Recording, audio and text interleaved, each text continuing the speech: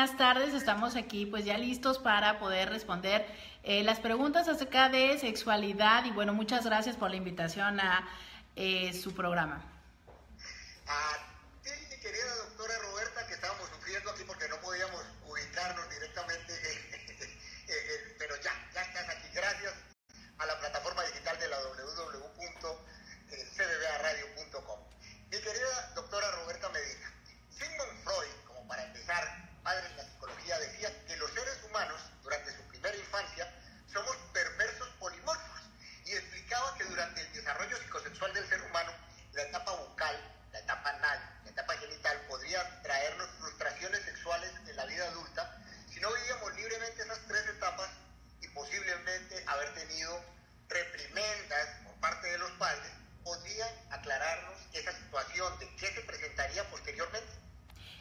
Sí, mira, este, justo como lo has comentado, pues eh, yo, lo, yo lo llamo el abuelo Sigmund Freud porque de verdad es que hace ya eh, muchos años, más de, más de un siglo, que sus enseñanzas fueron, eh, sí, las pioneras, pero hoy por hoy sabemos muchas diferencias, que incluso algo muy interesante de él mismo es que justo él se iba, conforme iba avanzando en sus investigaciones, iba reconfigurando sus planteamientos.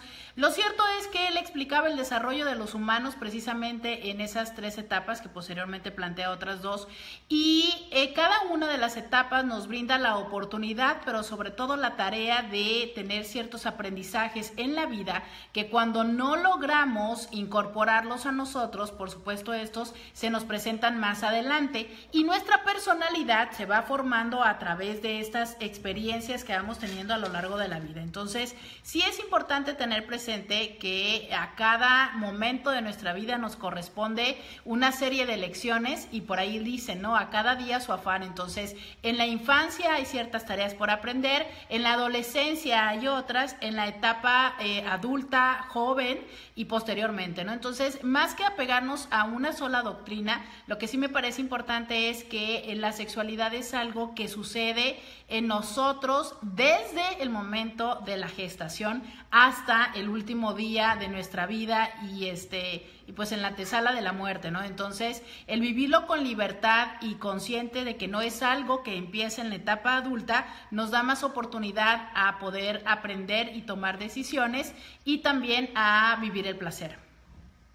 Bueno, doctora Roberta Medina, psicóloga especializada en sexología, terapeuta sexual, quiero presentarte a nuestra compañera de micrófono, a Giselle Flores, que tiene una pregunta supremamente interesante para ti. Claro que sí, mucho gusto Giselle. Hola Roberta, un placer saludarle. La pregunta es, ¿en qué momento despiertan los instintos sexuales tanto en el hombre como a, la mujer? Eh, mira, eh, híjole, creo que a lo mejor la situación eh, se, necesitaríamos primero empezar a definir qué son instintos sexuales, ¿no?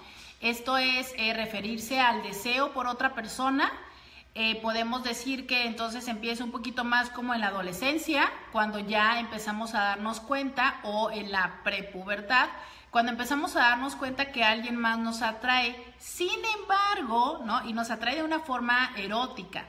Porque lo cierto es que la capacidad de vincularnos, esto existe desde el kinder, ¿no? O sea, cuando tú le preguntas a las personas y quizás si nos damos la oportunidad de recordar, pues la primera vez que probablemente nos enamoramos de alguien estábamos en el kinder, ¿no? Entonces, eh, sin embargo, en ese momento pues no teníamos estas ganas de, no sé, de tocar, de desnudar, de, de, unir los genitales, ¿no? Eso es algo... Es, exacto, eso es algo que vamos aprendiendo conforme va pasando el tiempo, ¿no? Entonces, eh, ya es en la adolescencia cuando ya eh, este erotismo se vive dentro de esta forma de vinculación.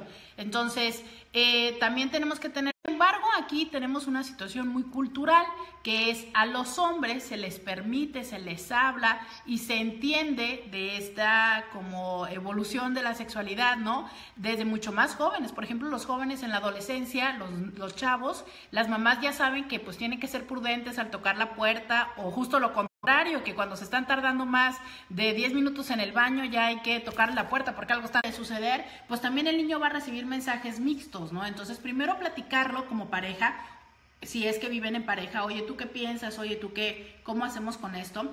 Y términos importantes a, a enseñarles a los niños a cualquier edad es, esta es una práctica íntima donde entonces debería de suceder en un espacio en particular. Y no es complicado explicarlo, es así como se les enseña que hay que ir a un cuarto a defecar o a orinar, bueno, pues hay otro cuarto al que vamos a estar con nosotros con las manos limpias y algo que es muy importante que a veces olvidamos es, tenemos que tener una vida rica en elementos. ¿A qué me refiero? A que adolescentes, hacerles saber que hay un momento para cada una de esas sensaciones que aunque pueden ser muy placenteras, a lo mejor ahí nos sirve un poquito platicarles un poquito de nuestra experiencia, de cómo pues el hecho de irlo viviendo poco a poco, de compartirlo con alguien es diferente y bueno, hacerles saber y entender que todos tenemos derecho al placer, que hay formas de hacerlo para no lastimarnos y que hay eh, diferentes situaciones que tenemos que considerar para con nosotros mismos. Eso es importante, ¿no? Si nosotros sobrereaccionamos, si nosotros castigamos, si nosotros satanizamos, estamos ayudando a que nuestro hijo no viva la sexualidad con placer.